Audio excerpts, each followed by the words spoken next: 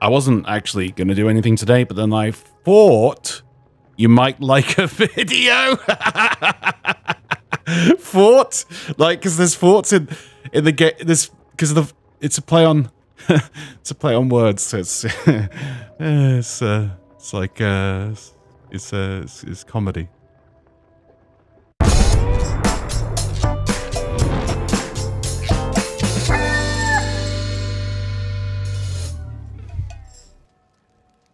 Hey, you beautiful Buccaneers, Falcore here. So, you've likely all delved into the new forts, a new feature added in the first half of Season 6. You're probably doing one right now, so I'll just keep talking as you battle through the waves of minions and your adventure- uh, oh.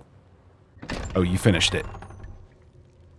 Jokes aside, the new forts are a treat for the eyes and a fun little thing to do, but not exactly the main course of content we were looking for. More like the biscuit you get with some coffee shops. You know the one I mean. Is it is it vanilla or is it ginger? No one knows. But aside all that, the forts have come with quite a bit of foreshadowing for where the adventures could take us in future updates.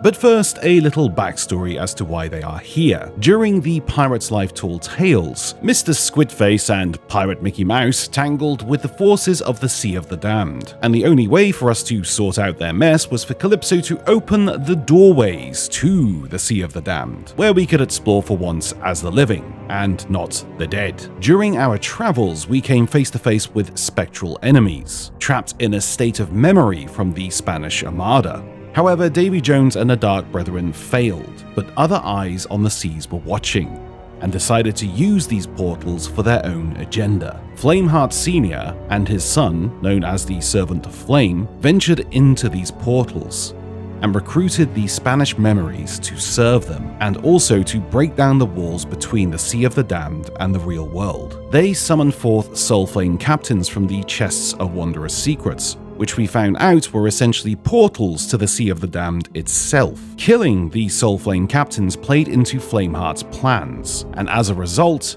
the walls between the Sea of the Damned and the Sea of Thieves was cracked, and the Spanish forces were able to bring forth their forts. But why? What purpose does this serve? Within the forts scattered around the Sea of Thieves, there are several hints as to what the Spanish phantoms are doing. They appear to be ransacking the Sea of Thieves for vital information or treasures, such as Mercy's End Fort that holds paintings of the Sea Dogs Tavern. Since the closure of Arena, the Sea Dogs are packing up shop and have a lot to say about it. I'll save this story arc for a future video. But within the Sea Dogs Tavern, these pictures could be seen hanging. But why would they need these pictures? It's possible that they stole them just because they want to put them on eBay or something, but it could also be preluding to the fact that something bigger is going to occur with the Sea Dogs in the future. But as I said, more of that in a future video. But this isn't the only thing they appear to be ransacking. Within the Imperial Crown Treasury on a small table is this note with arcane symbols what appears to be the depiction of three cannonballs and a signature from M. Salty. Now, more about that in a moment, but down at the aptly named Traitor's Fate Fortress, a secondary pirate code can be found that reads Surrender the outposts, bow to Captain Warsmith, all hail Flameheart.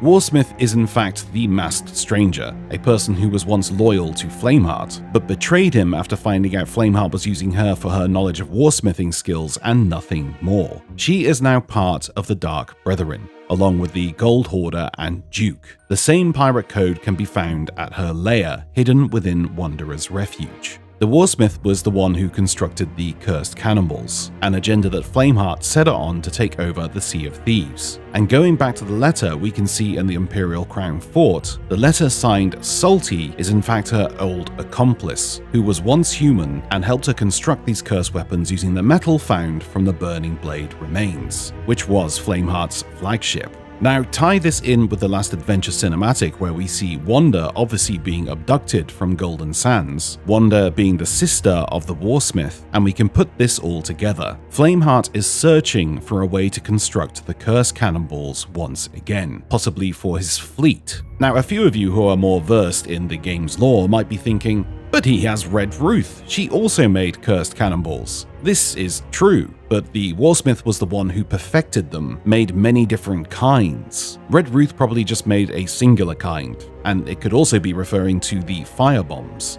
The abduction of Wanda, the attack at Golden Sands, the notes, the aptly named forts and their locations all point towards the Spanish forces helping Flameheart find the recipe for these curses which means I have no doubt we'll see the Dark Brethren emerge once more in the future, and the Warsmith will not be happy at all that her prized possessions and knowledge are being used for her former ruler's agenda.